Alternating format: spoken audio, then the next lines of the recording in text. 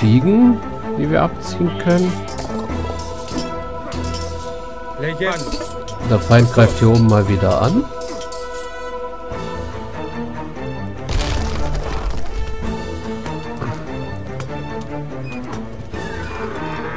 So, das heißt, eigentlich haben wir hier alles gesichert.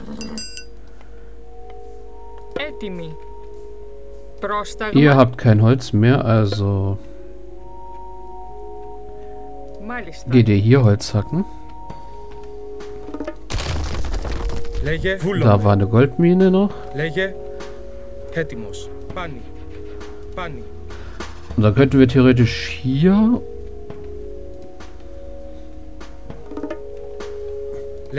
Dann durchdringen. So, hier ist alles abgebaut. Also reiße ich dich mal ein.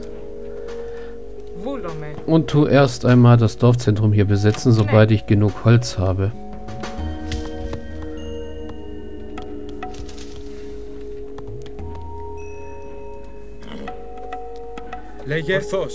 So.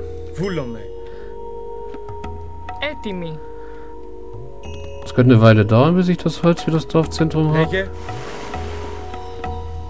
Aber macht ja nicht so viel aus. Und ganz ehrlich, euch beide stelle ich mal auf Defensiv. Ihr tut mir hier den Graben bewachen. Als die, die da muss ich jetzt nicht unbedingt ständig verfolgen. So, könnten wir theoretisch... Nein, können wir nicht, weil wir nicht genug Gold haben. Um ins nächste Zeitalter voranzuschreiten.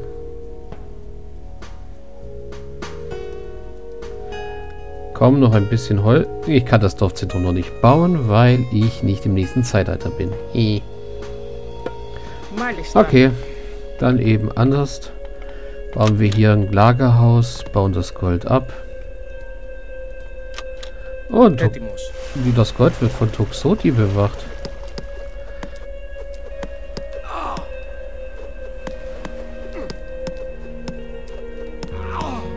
Wie nett.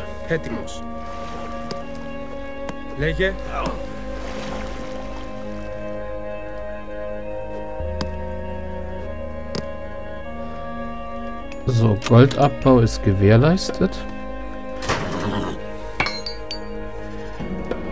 So, erstmal noch die Bronze-Schild-Verbesserung und dann können wir ins nächste Zeitalter voranschreiten. Noch zwei Häuser.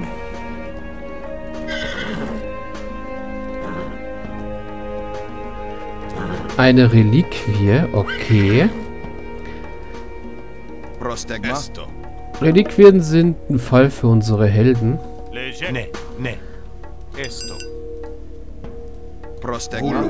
Also nehme ich die beiden mal.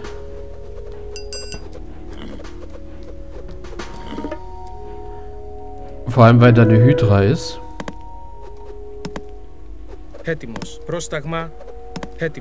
Und ich sollte mal meine Trirem verbessern, was ich nicht kann. Aber ich kann meine Fischerkutter verbessern, was sinnlos ist im Augenblick. Ich sollte ins nächste Zeitalter voranschreiten. Wieder mit Dionysos. Und sollte lieber noch zwei Triremen hier hinschaffen zur, zum Schutz.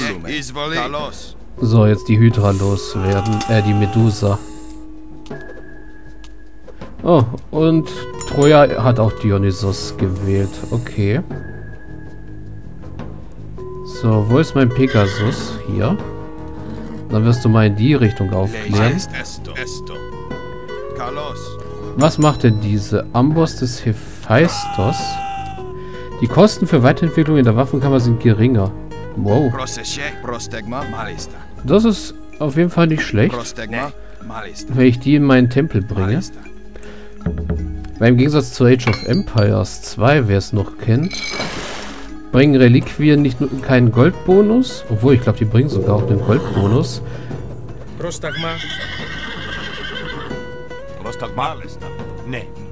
Aber sie bringen auch andere Boni, wie jetzt zum Beispiel göttlicher Zauber. Ach du meine Güte, das ist nicht so gut.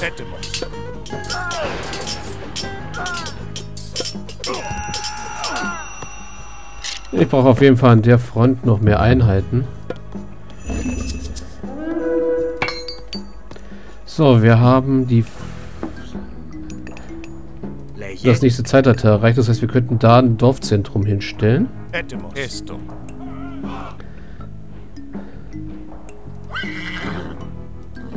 Okay, Trojas Bronze bringt nicht mehr sehr viel.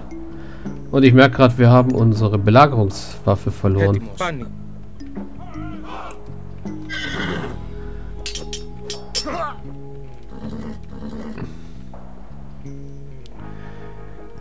Gut.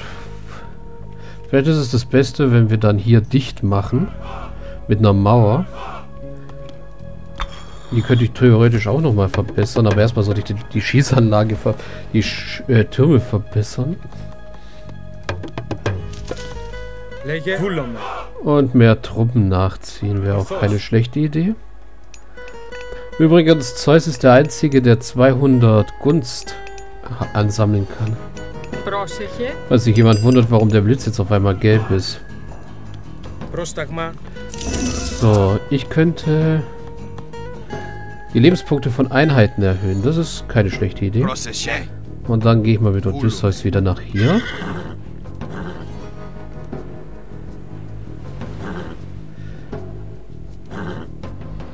So, ich denke mal, Goldprobleme haben wir nicht mehr so schnell. Zur Not können wir das hier dann noch angraben. Oder die riesige Goldmine hier im Tal.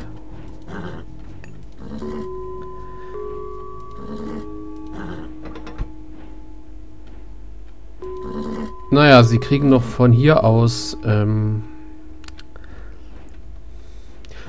der Marktplatz hier versorgt sie noch. Weil wahrscheinlich dort irgendwo in der Richtung noch ein Dorfzentrum ist.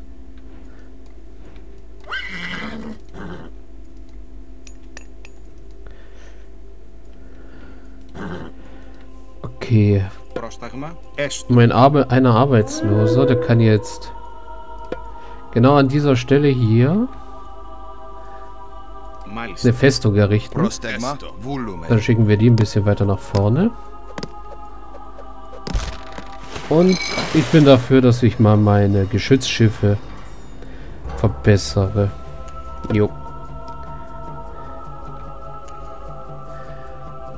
Ja, auf dem Seeweg werden wir auch immer wieder mal ein bisschen angegriffen. Da wäre es besser, wenn wir bessere Geschützschiffe hätten. Und ja, genau 10% weniger kosten jetzt die Verbesserungen. Deswegen Bronzepanzer, nein, erst Bronzewaffen. Und vielleicht zwei Hydren, da wir... Ach, da ist ja unser Elepolis gelandet. Okay. Also ja, ich schätze mal, da hinten ist irgendwo ein Dorfzentrum noch. Aber ich denke mal, das können wir getrost ignorieren. So. Das wird wahrscheinlich das Dorfzentrum von den Lilanen sein. Gucken wir mal kurz in die Diplomatie. Ach, da können wir nur uns sehen. Auch gut. Weil es gibt ja hier noch den lilanen Spieler. Ja, genau, den hier. Jo. Zykus, die sind mit Troja verbündet. Na kommt, lass den Speer ruhig durch. So, ich könnte Zinnen bauen, damit verbessere ich schon mal alle meine Einheiten. So, das heißt, wenn ich hier die Festung baue und hier eine Mauer ziehe, dürften die fast nicht mehr durchkommen. So, jetzt kann ich die Waffen verbessern und auch gleich die Rüstungen. Sichtweite habe ich schon verbessert, sehr schön. Siedendes Öl wäre nicht schlecht, auch nicht schlecht. Und ja, eigentlich noch die besseren Rohstoffabbausachen, aber gerade bei Nahrung ist das sowas von unnötig, wie man sieht, so viel wie wir haben. Eher hauptsächlich bei Gold. Und dann später auch bei Holz. So. Wir haben eine Festung gebaut. Dort könnten wir Herakles... Ach ja, noch mehr Helden wären nicht schlecht. Aber die können wir auch im Dorfzentrum anheuern. Welchen Helden unterstützt eigentlich Oh ja, Odysseus könnten wir klassischen, aber Odysseus haben wir ja als Kampagnenhelden. Deswegen können wir keinen zweiten Odysseus rufen. So, da ist Jason und dann kriegen wir noch den Herakles mit der dicken Keule. So, das heißt, unsere Bemühungen gehen hauptsächlich jetzt auf Einheitenverbesserungen.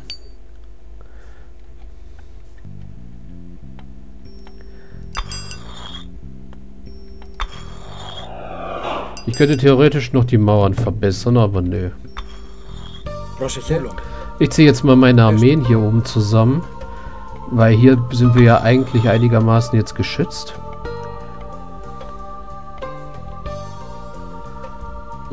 Und da ist Herakles mit der Keule, auch wenn er hier mit dem Schwert abgebildet ist. Und ja, jetzt sehen meine Hopliten endlich mal ordentlich aus. Jetzt kann ich noch da das Schild verbessern, dass ihre Minischildchen hier auch noch ein bisschen besser aussehen. Weil das finde ich, find ich eigentlich sehr schön für das alte Spiel. Sie sind, haben sich sehr in die Details vertieft. Also es ist sehr detailreich geworden. Oh.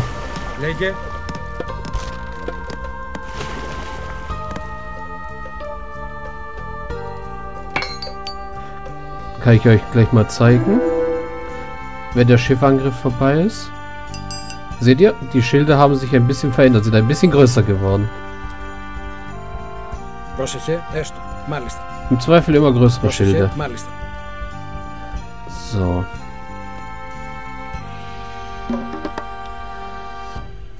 Ich könnte mein Dorfzentrum noch verbessern. Oder halt mal allgemein die Stabilität von Gebäuden. So. Oh, hier kann ich nicht fertig bauen. Das ist schade. Aber das ist auch egal. Ich baue jetzt noch hier zwei Türmchen hin und dann bin ich sicher. Dann kann ich mich meine Armeen hier oben sammeln. Oh, mittlere Toxoti, die sollte ich auch mal upgraden. So. Und eigentlich sollte ich noch das Holz-Upgrade hier erforschen. Weil Holz ist auch gerade wieder Mangelware. Lege έτοιμος.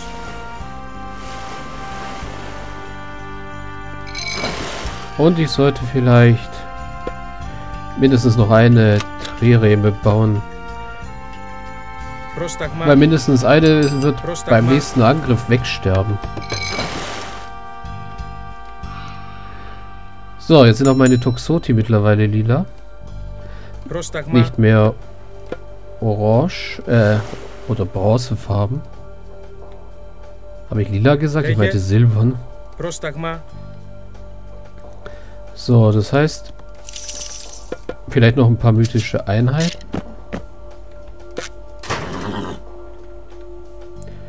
Und da ist mir jetzt mein Gold ausgegangen. Also warte ich mal mit Toxoti und baue lieber ah, Geschwindigkeit von Belagerungswaffen erhöhen. Das wäre eigentlich auch gar keine so schlechte Idee.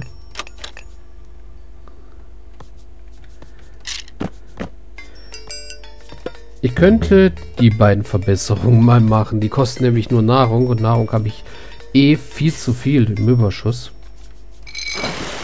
Ich könnte auch zum Beispiel endlich mal die Fischkutter verbessern. Oder noch einen Fischkutter holen. Das ist billiger. Wie sieht's hier aus?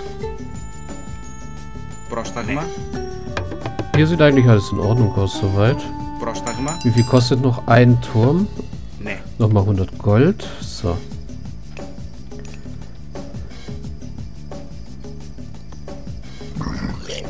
Ja.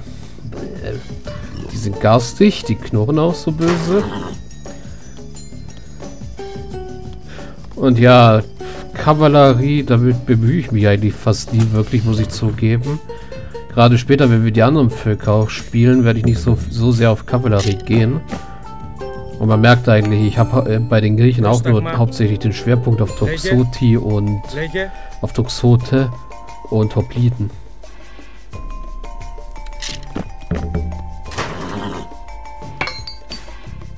Gut.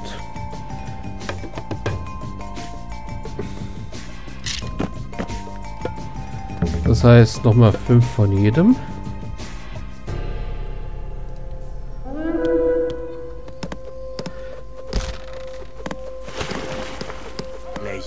Fischerkutter, die ich wollte ja nicht hier unten hinschicken. Und er hat mir schon ausgerechnet, dass meine äh, Bevölkerung nicht ausreichen wird.